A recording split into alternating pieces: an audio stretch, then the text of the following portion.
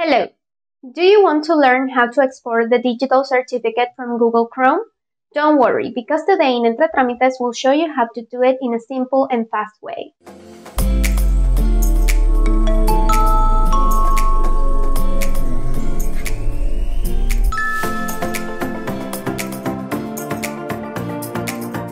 The first thing we need to do is go to Google Chrome. Then on the top right side of the screen we will see three little dots. Click here and then we'll go to the Settings option. Here we'll see a tab that says Privacy and Security.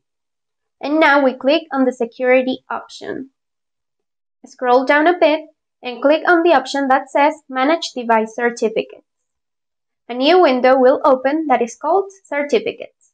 Here we will see our installed certificates and we'll click on Export. Next, we will see the Certificate Export Wizard window Click on Next, and there will be two options, exporting the certificate with the private key or not.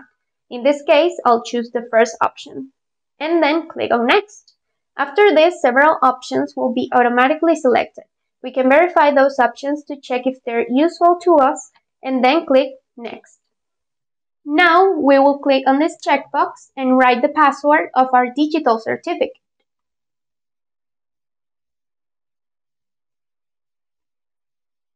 Click on Next again, and after this, we will specify the name of the file we want to export.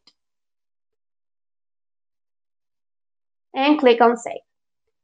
We can verify the data of our certificate in this section, then click on Finish.